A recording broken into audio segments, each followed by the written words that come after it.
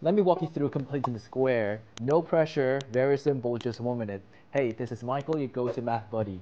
And here's how you do it. Well, based on what I see from most of my students, they are not that confident when it comes to completing the square. Maybe it's because most of the times they just use factorization or quadratic formula in order to solve for the quadratic equation. But here's an easy way for you to do it, and it's pretty easy to remember as well. Now, first of all, you just need to take a look at the first two terms, which is x squared plus 12x in this case, and you create a square bracket now for the first one, you put x, okay? And then we follow by half of 12. Now half of 12 is 6. So since that is a positive 6, you put it as plus 6. And then after that, you must put a minus. Now this is always a minus. The minus of the square of whatever number you just put inside of here. So in this case, it is 6. So square of 6 would be 36. Followed by minus 1, okay? And now you just have to simplify it.